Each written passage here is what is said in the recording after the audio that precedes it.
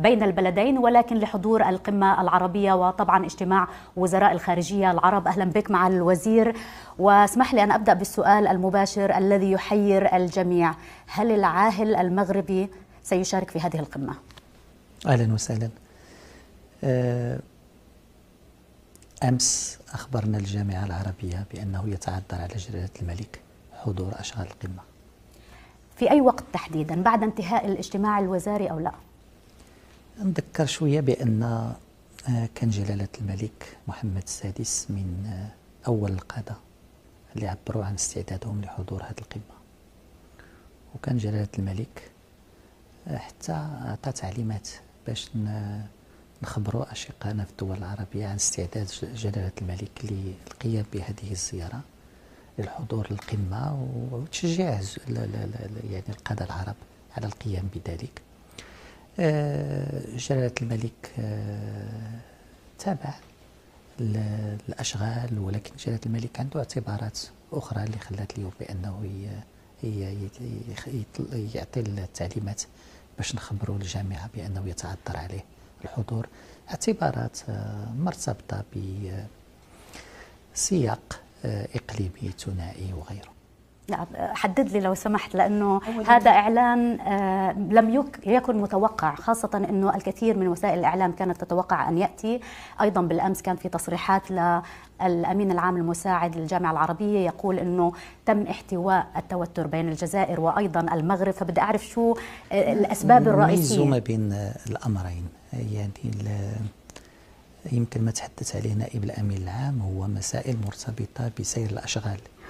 وبعض آه، النقط اللي كانت مهمة بالنسبة للجانب المغربي. هذا أمر. هذا موضوع الخارطة أو مواضيع آه، أخرى يعني لابد نفصل فيها. هي المسألة هي مسألة آه، منطلق. ماذا؟ أين نحن؟ المغرب فهمه هو أن الأمر يتعلق بقمة جامعة الدول العربية تحتضنها دولة عربية. بالترتيب الأبجدي. هذه هي وليست قمة دولة معينة تنظمها ووفق يعني أجندتها. هذا هو المنطلق.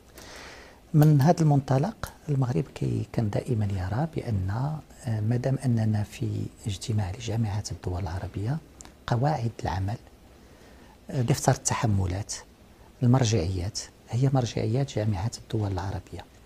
وأن البلد المستضيف آه، يعني آه، كي يشتغل وفق هذه المرجعيات ووفق هذه العناصر. من هذا المنطلق آه، كانت تعليمات جلالة الملك باش المغرب يحضر لهذه القمة. حضر على مستوى كبار الموظفين على مستوى المندوبين الدائمين وعلى المستوى الوزاري وأن نشارك بشكل بناء لأن التحديات اللي كتواجه القمة هي تحديات مهمة. من هذا المنطلق المغرب شارك. فين ما كيكون خروج على ضوابط العمل داخل الجامعة العربية المغرب يذكر بذلك ويطلب تصحيح الوضع. ملي كتكون الأمور غادية بشكل طبيعي المغرب يساهم بشكل بناء في ما الذي حدث تحديدا؟ هل لك أن تكون صريح معنا لنعرف ما هي الضوابط التي ممكن نكون نعم كان آه، كانت بعض العناصر اللي مرتبطة بخارطة المملكة المغربية. تم احتواء الموضوع هناك اعتذار من المحطة الم... أنا سألتيني ماذا جرى؟ صحيح. هذا ماذا جرى؟ يعني المغرب آه، في إطار هذا المنطق ديال أننا في إطار اجتماع لجامعات الدول العربية أكد على أنه يجب احترام آه، هذا والمغرب ماشي أول مرة كيذكرها. منذ بدأت التحضيرات المغرب قال هناك محددات يجب احترامها آه، ليس فقط للمغرب. لأي دولة ستذهب إلى قمة عربية في دولة أخرى هناك قواعد يجب احترامها. والمغرب ما كيطلبش امتياز له المغرب يطلب تطبيق قواعد عامة ل آه، جميل. ما هي المحددات التي تم خرقها؟ تحدثنا عن الخارطة اللي هي مسألة مهمة جدا بالنسبة صحيح ولكن الأمانة العامة للجامعة العربية قالت بأنه لا علاقة لها بهذه المحطة. بالمقابل كان هناك اعتذار من هذه المحطة على ما حدث. آه ألم يرضيكم ذلك بمعنى آخر؟ لا. عندما تم الحديث عن احتواء التوتر لم ينتهي هذا التوتر؟ لا يعني خصنا نتفاهموا على أمر أساسي. آه، المغرب قال هذه شهور بأن هناك ضوابط يجب أن تحترم. وتلقى آه، ضمانات وتطمينات. لما وقع الأمر كان هناك اولا آه، استغراب لأن هذه ماشي مسائل يعني لماذا لم يتم التلاعب بخريطة آه، تونس ولا المملكة العربية السعودية ولا الأردن؟ آه، ثانيا لماذا في اليوم الأول؟ وثالثا آه، لماذا من قناة رسمية اعتبرت يعني أنت بتعتقد أنه هي كانت مقصودة من الجزائر أنا, أنا ألاحظ بأن الخريطة الوحيدة التي تم وضع حدود لها هي خريطة المغرب. سقطة ربما. ربما. إحنا ولكن اعتبرنا بأن آه، الأمر يحتاج إلى آه، توضيح وبأن الأمر آه، ليس فقط سقطة ديال ال graphiste كما قيل يعني ال graphiste كان يعني كان inspiré بحال اللي كنقولوا حنا مشى للمغرب فقط والجزء من التراب المغربي. ف آه، ولكن آه، بحال اللي قلت آه، حنا جينا بتعليمات واضحة من جلالة الملك للاشتغال بشكل بناء عدم المس بالخطوط الحمراء أكيد. للماء. لم تحصلوا على توضيحات. لا خلينا نبدأ. حصلنا على حصلنا على حصلنا على لم تكن مرضية. هي جزء من أمور أخرى اللي يمكن لي نقول لك. نعطيك مثال اللي يمكن يهمك.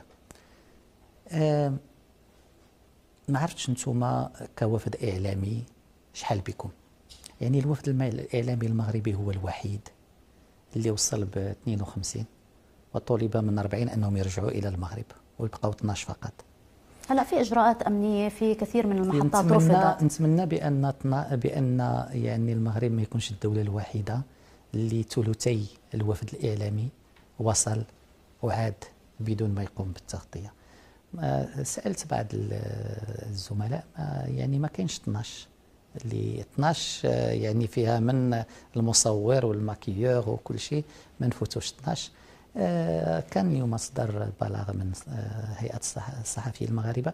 واش حنا ضروري؟ هاد آه، واش ضروري مثل هاد نضيعوا الطاقة ونضيعوا الوقت في أمور مثل هذه اللي كان يمكن لها يتم التعامل معها بشكل آخر.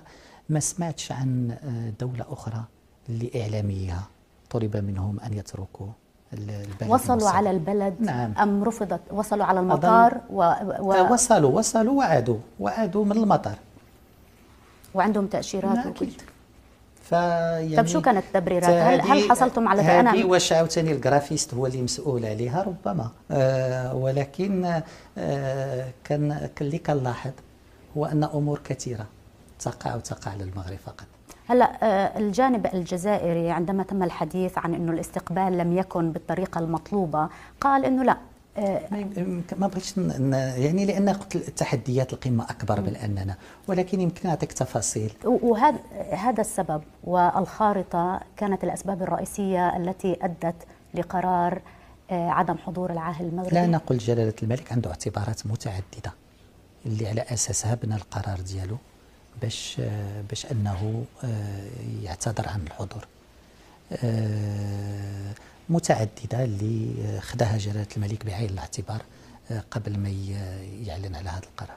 طيب انتهت من المحددات ولا في بعد محددات أخرى وبعد فيها العوائد؟ العديد من الأمور فيها العديد من من الأمور اللي اتخذت بعين الاعتبار لأن الحضور خصو شروط وجلاله الملك تابع هذه الشروط.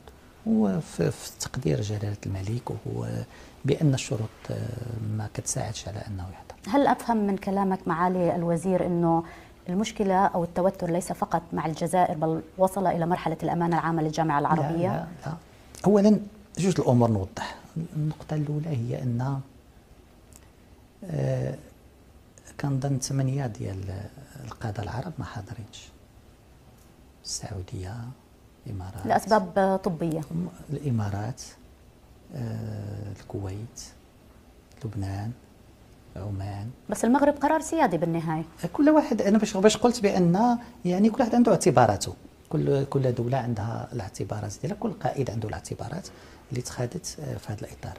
مع الأمانة العامة باش نجاوبكم مباشرة لأنه كاين دائما تعاون كبير. وكانت الأمانة العامة بالنسبة للمغرب عاوتاني عكس الدول الأخرى هي ال ال الوسيط الوحيد مع الدولة المضيفة. يعني المغرب آه، في كثير من يعني في كل الأحيان كيضر كيمر عن الأمانة آه، لغياب قنوات التواصل آه، المباشره فبالعكس إحنا كنقدروا كثير الدور اللي قامت به الأمانة قبل أثناء القمة. ولكن أنت تعلم أنه غياب العاهل المغربي مباشرة يؤثر على صورة الجامعة العربية اللي البعض ينتقد بأنه تترهل في ظل غياب القيادات الموجودة أليس كذلك؟ هو باش نعاود ثاني نوضح آه، رؤية جلالة الملك ماشي اليوم منذ مدة منذ يعني آه، هذه سنوات أن لا يمكن اختزال العمل العربي المشترك في القمم دعني فقط أمر آه، سريعا على هذا الغياب للعاهل المغربي عندما نتحدث عن محددات تم خرقها هل نعتبر أنه كانت الإشارات غير إيجابية سأضعها في هذا الإطار من قبل الجزائر وأليس هناك من دول عربية يتم التنسيق معها للدخول في وساطة على الأقل لتقريب وجهات النظر؟ أكيد بأن القرار خدم مجموعة من الاعتبارات اللي مرتبطة بما وقع قبل. أثناء التحضير للقمة ما يقع يعني على المستوى الثنائي؟ ما وقع أثناء وغيرها؟ فالعناصر اللي يمكن حتى على مستوى الشعب المغربي كاين هناك واحد الهجمات إعلامية اللي اللي كت اللي كيرفضها الشعب المغربي بالدرجة هلا من قبل الطرفين أليس كذلك؟ آه يعني إحنا في, في تقاليدنا آه لما كتكون آه لما كتستدعي شي ضيف كدير مجهود. ثانيا تحدثتي على مسألة الضوابط. هذا جزء هذا عنصر كذلك من من هذا الشيء. ولكن اللي بغيت نأكد عليه بأن جلالة الملك اعتذر عن الحضور للقمة ولكن جلالة الملك أعطى تعليمات واضحة بالمشاركة الإيجابية والبناءة في القمة. وغياب جلالة الملك مثل غياب يعني واحد سبعة ولا ثمانية ديال آه، القادة العرب على مستوى القمة اللي ما يحضروش كذلك لهذه القمة الاعتبارات الاعتبارات آه، مختلفة.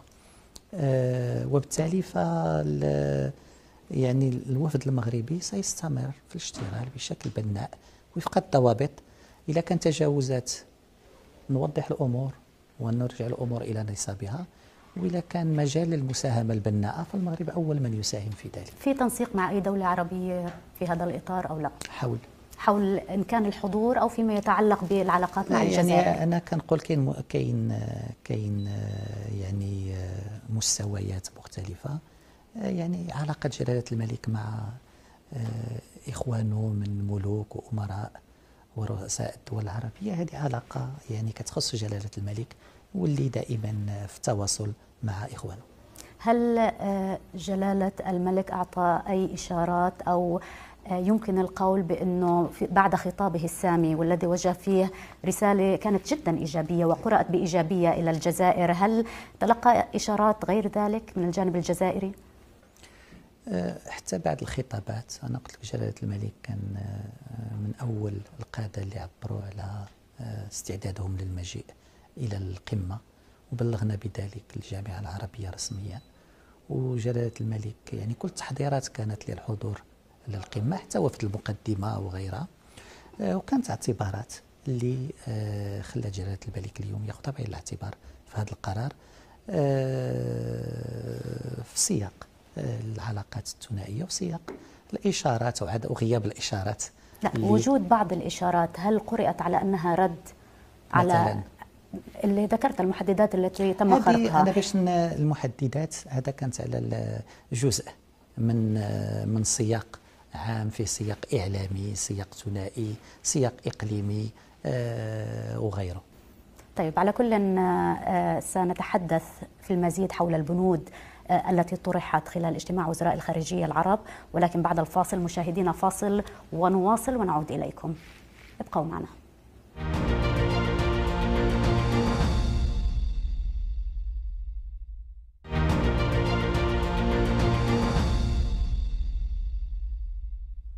مشاهدينا أهلا بكم مجددا ونكمل هذا الحوار مع معالي وزير الخارجية المغربي ناصر بوريطه، كنا نتحدث بداية عن الإعلان الذي ذكرت بانه العاهل المغربي لن يحضر القمة سينوب عنه وزير الخارجية؟ نعم، كانت تعليمات لجلالة الملك بأن أرأس الوفد المغربي في القمة. طيب خبرنا بداية لو سمحت لنا معالي الوزير عن اجتماع وزراء الخارجية العرب وما هو الطرح المغربي في هذا الاجتماع؟ أه بحال اللي قلت الوفد المغربي جاء بتعليمات واضحة. فيها أولا أه التأكيد على أن سياق هذه القمة وهو سياق أه عربي ودولي أه صعب. أه من انطلاقا من القضية الفلسطينية اللي يعطيها جلالة الملك أهمية خاصة. من منطلق دوره كرئيس للجنة القدس. ومن منطلق كذلك الهجمات اللي كتعرض لها القضية الفلسطينية من التصرفات الإسرائيلية اقتحامات للمسجد الأقصى آه اعتداءات على المواطنين الفلسطينيين. هذه كلها كتطرح تساؤلات مهمة. وضع مقلق في ليبيا وضع مقلق في اليمن وضع مقلق في سوريا لبنان السودان وغيرها. آه، كاين آه، يعني أزمات دولية أزمة طاقية أزمة غذائية أزمة بيئية أزمة آه، أمنية اللي كتساءل الوضع العربي واللي خلات من البداية المغرب ورؤية جلالة الملك أن يجب أن الإجابة خصها تكون عربية مشتركة. كاين هناك من جهة أخرى انتظارات للشعوب العربية وتحدثت عليها اللي آه، بالإضافة للقرارات والإعلانات اللي يمكن تخرج كتسنى أمور عملية كتسنى كيف سنواجه الأزمة الغذائية كيف سنواجه الأزمة الطاقية. يعني آه، التعامل جلالة الملك مع هذه القضية وتعامل براغماتي عملي. آه، الإعلانات سهلة الخطابات سهلة الحلول يجب أن تكون حلول عربية عملية. ف وبان هذا ماشي غير اليوم. ماشي لأن القمة في الجزائر ولا. في 2001 جلالة الملك اطلق آه، مبادرة إعلان أكادير للتكامل الاقتصادي بين المغرب وتونس والأردن ومصر. كنواة لعمل مشترك. هذا المسار غادي. مسار لتبادل حر بين هذه الدول. آه، فيه مشاكل ولكن أنا نفضل المشاكل تكون بين الفاعلين الاقتصاديين وقواعد المنشاء وشروط المنافسة على أنها تكون مشاكل سياسية مشاكل مرتبطة باختلافات في الرؤى وغيرها هذا هذا هو هذا هو ما هو له انعكاس على اجتماعكم في الجامعة العربية بمعنى آخر أنه ممكن التوسع عندكم طرح آخر أم ماذا؟ آه يعني الطرح هو أن كانت اقتراحات جد مهمة من الجانب المغربي في الاجتماع المجلس الاقتصادي والاجتماعي. للأسف ما كي اللي ما كياخذش واحد الفيزيبيليتي واحد الأهمية في أجندة جامعات الدول العربية. في هذه القمة؟ لأنه يعني هناك حديث أنه في تركيز على هذا الموضوع. الأمن الغذائي هو من العناوين الرئيسية وأنه في توافق. يعني من خلال حديثك أفهم أنه ما في توافق لا على في توافق. مش الإشكال مش التوافق على الأوراق. الصيغة؟ مش مش توافق الأوراق. الإشكال هو ترجمة الأوراق إلى بشكل عملي. لهذا أنا قلت آه القمم مهمة ولكن آه ماذا سنفعل في 363 يوم الأخرى من السنة؟ آه إلا اعتبرنا بأن كنا كنتظروا القمة هذه ثلاث سنين باش نبداو نشتغلوا فكاين خطأ نوعا ما. يعني ما هو أساسي كل واحد فينا يسأل نفسه ماذا أفعل للدفع بالعمل العربي المشترك أو العكس ماذا أفعل لضرب العمل العربي المشترك؟ المغرب أكد مع مجموعة من الدول على أن العالم اليوم والعالم العربي بصفة عامة محتاج إلى تعزيز وحدته الترابية إلى تعزيز سيادته الوطنية إلى محاربة الانفصال إلى محاربة آه، الشرذمة وإلى تقوية مؤسسات وإضعاف الدول العربية لسبب من الأسباب آه، كتضرب هاد الباخرة العربية اللي كنا آه، غن يا إما غادي نمشيو بها واما غادي نغرقوا فيها الضعاف جميعا. عربي عربي أو بسبب التدخلات الخارجية وهي نقطة مهمة يقال بأنه كانت بند من البنود التي أثارت الكثير من التساؤلات والتوترات. ما يعني هذا آه، مرة أخرى آه، ما غنغيروش الواقع بالقرارات أو عاد أو بجدول الأعمال. التدخلات الخارجية في العالم العربي هذه حقيقة.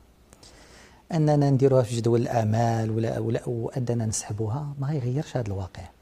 واللي كيظن بأن عدم ذكرها في جدول الأعمال فهذا غيغير الواقع فهو مخطئ. هناك تدخلات. آه يعني كنشوفوا عن مين عم نحكي عن إيران. آه المغرب يمكن يحكي عن إيران بشكل واضح. لأن آه آه إيران آه بالنسبة للمغرب تمول ميليشيا مسلحة انفصالية تهدد أمن المغرب تهدد استقرار المغرب وتهدد أمن وطمأنينة المغاربة. التدخلات آه، الأجنبية هذه كاينة لجنتين عربيتين اللي ما بين القمة ديال تونس وقمة الجزائر آه، اجتمعت واحد ستة ولا سبعة المرات وصدرت تقارير وقرارات واللي القمة ستعتمدها آه، مرة أخرى. لكم لأنه بحسب ما فهمت أنه ما سيطرح هو قراءة من القراءات السابقة لا جديد لا إضافات. هل هي, هي يعني آه، أنا كنظن اللجنة آخر مرة اجتمعت اجتمعت في شهر شتنبر الماضي في القاهرة ودارت تقرير وكان هناك قرار. وهذا القرار هذا سيتم إعادة اعتماده من القمة اللي هو لو تشرح لنا القرار. اللي هو بأننا نرفض التدخلات الأجنبية في القضايا العربية. نرفض تواجد قوات أجنبية في ال في ال فوق التراب العربي. وبالنسبة للمغرب اللجنة كتشير بشكل صريح إلى التضامن مع المغرب والتنديد بالتدخلات الإيرانية آه، في الشؤون المغربية من خلال دعم ميليشيات انفصالية مسلحة. الاسم واضح وصريح للدولة الذي يتم التنديد بها إيران. بالنسبة للمغرب إيران بالنسبة للنص الموجود. بالنسبة للقرار يعني اللجنة هي سميتها لجنة الحد من التدخلات الإيرانية في الشؤون العربية هذا اسمها الرسمي والقرار والتقرير يشيران إلى ذلك بالاسم. وهذا ما سيكون في بند من بنود البيان للقمة. هذا غيكون من القرارات التي ستعتمدها القمة. وهذا بالنسبة لكم غير كافي. لا بالنسبة لنا كافي. يعني ما ك... يعني هذا ما تحتاجه المغرب؟ المغرب تحتاج. يعني التنديد؟ لا ما تحتاجه. المغرب على المستوى الثنائي قطع علاقاته مع إيران. آه، منذ 2018 آه، المغرب ولقى تضامن. بحال المغرب في 2009 قطع علاقته مع إيران لما كان تهديد للبحرين. المغرب ما كيشوفش الأمر بأنه آه، مجرد بيانات وقرار المغرب عملي.